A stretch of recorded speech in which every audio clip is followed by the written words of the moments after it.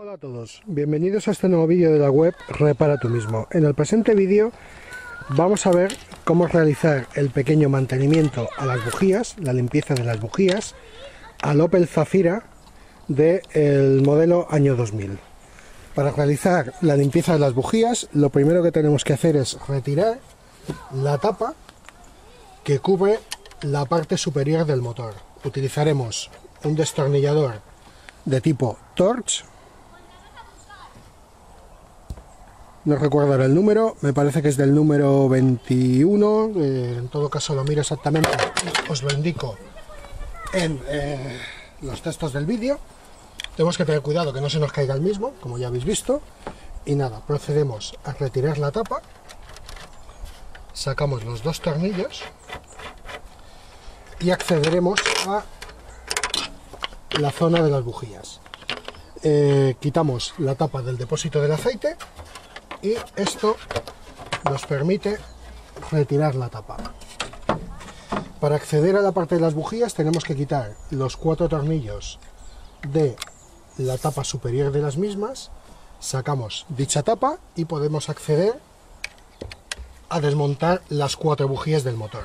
Voy sacando los cuatro tornillos y en cuanto los tenga a punto, continuamos con el vídeo.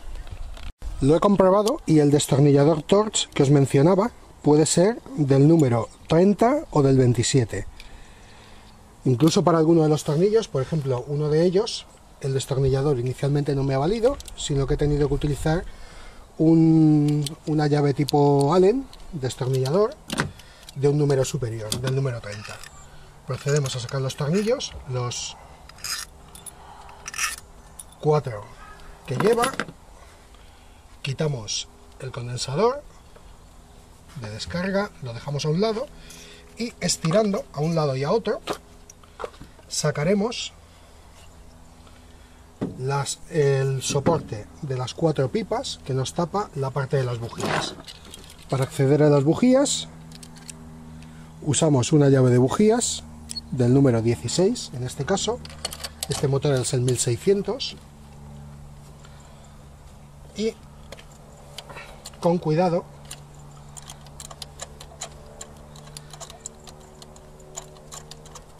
Vamos desenroscando y sacaremos una a una las bujías. La misma ya está suelta y sale. La misma sale adherida a la llave ya que en el interior la llave lleva una goma que engancha la bujía y nos permite extraerla de su alojamiento. Relativamente no están muy sucias, ya que suelo limpiarlas con bastante asiduidad, pero bueno, como un mantenimiento más que podemos hacerle al, vehículo, no está de más el limpiarlas. Podemos utilizar un cepillo de eh, cerdas metálicas, tampoco no importa que sea uno que arañe excesivamente, yo lo que, los que suelo utilizar son cepillos bastante blandos, y poco a poco vamos quitando toda la parte de carbonilla que se ha ido acumulando a fin de que nos queden brillantes las láminas y dejemos la bujía en eh, buenas condiciones para volverla a reutilizar. La vida útil de una bujía más o menos suele ser unos 40-50 mil kilómetros. Eh, yo no soy mecánico, un mecánico os lo dirá más exactamente lo que puede ser la vida útil de una bujía.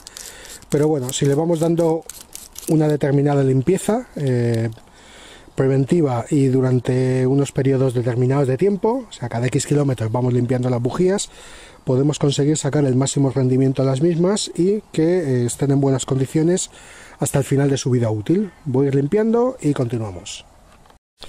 Ya he limpiado completamente la bujía, toda la parte de eh, chispa de la misma, dejándola eh, lo más brillante posible quitando todos los restos de carbonilla que se puedan acumular y demás. Si fuera una, de las bujías de eh, solamente un terminal negativo, con una galga ajustaríamos la separación entre el terminal y el polo positivo de la bujía, más o menos a eh, la galga del número 75. Esta bujía, al ser de las de tres polos, no lleva eh, ajuste que se deba realizar con las mismas como mucho podemos acercar ligeramente eh, los polos negativos.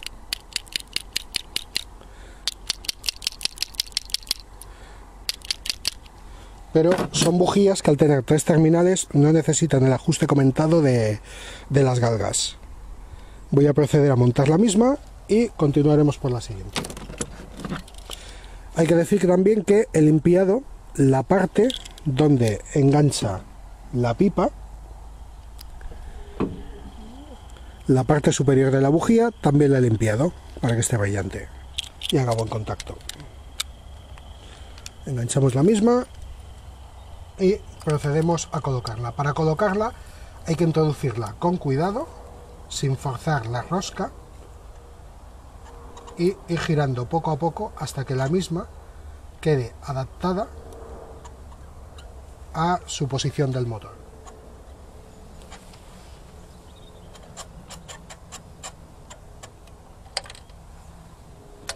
Ya prácticamente está.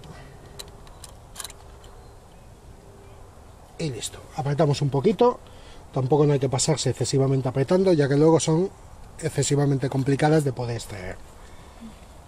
Nos aseguramos que queda apretada y continuamos con la siguiente. Sigo con las bujías, ya voy por la tercera y como vemos el desgaste más o menos es el mismo en todas, no siendo excesivo, pero si procedemos a limpiarlas pues realizarán una tarea mucho mejor de la que están realizando.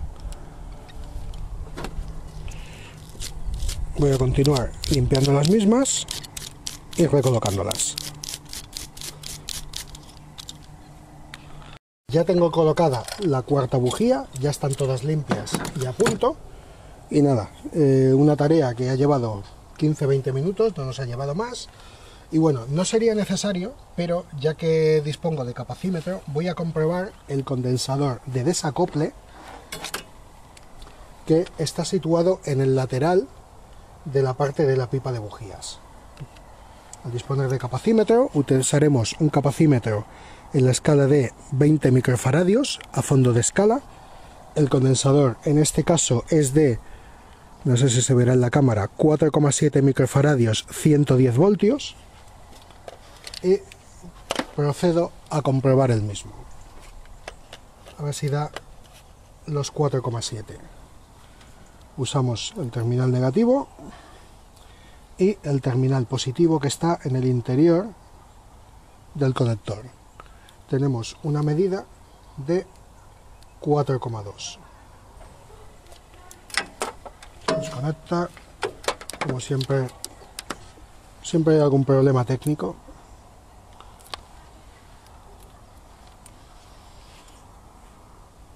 Como veis para un condensador de 4,7 está marcando 4,2 como 21 no estaría mal, ya que en este caso el condensador no es crítico que tenga un buen funcionamiento perfecto como sería el de un equipo electrónico.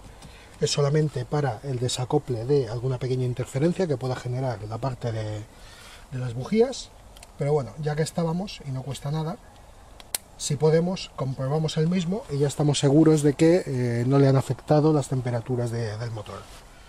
Voy a proceder a colocar nuevamente la pipa de bujías, la introducimos en su habitáculo, apretamos para que quede encajada y vamos colocando los cuatro tornillos que lleva.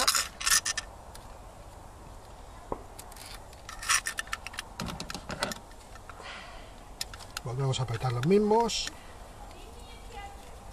y ya quedará prácticamente listo. Acabo de apretarlos y continuamos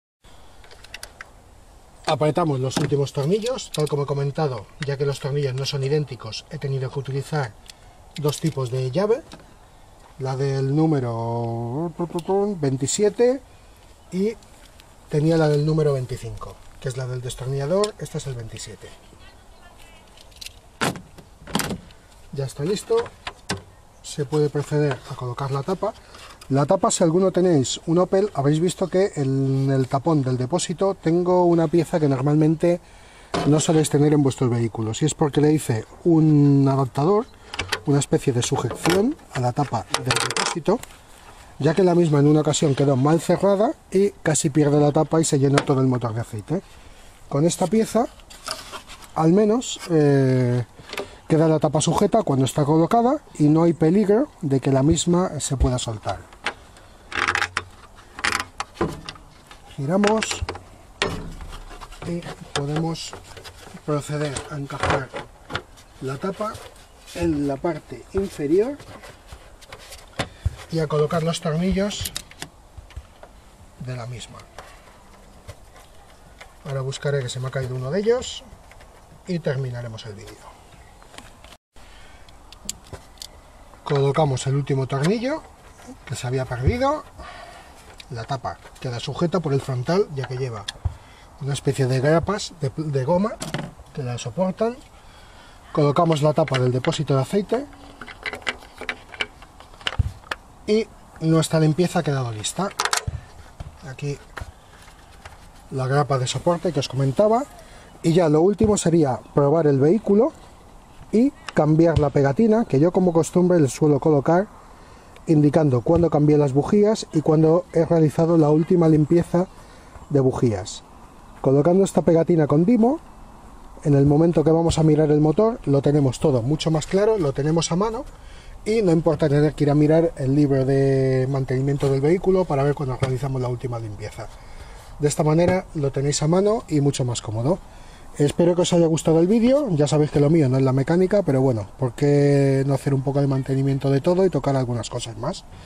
Un saludo y espero que sigáis visitando la página web y los, vídeos. Repara tú mismo.